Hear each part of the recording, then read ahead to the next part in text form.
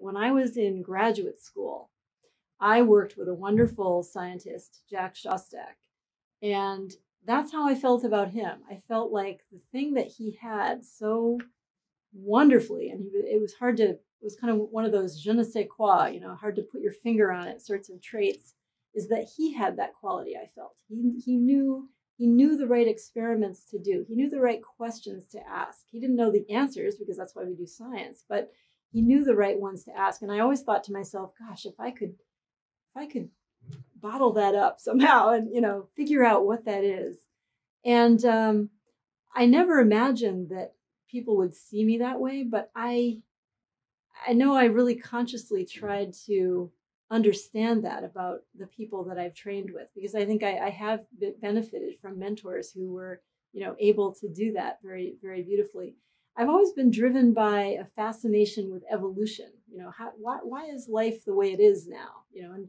of course we're we're seeing life on our planet at a snapshot in time you know? It was different in the past and it'll be different in the future.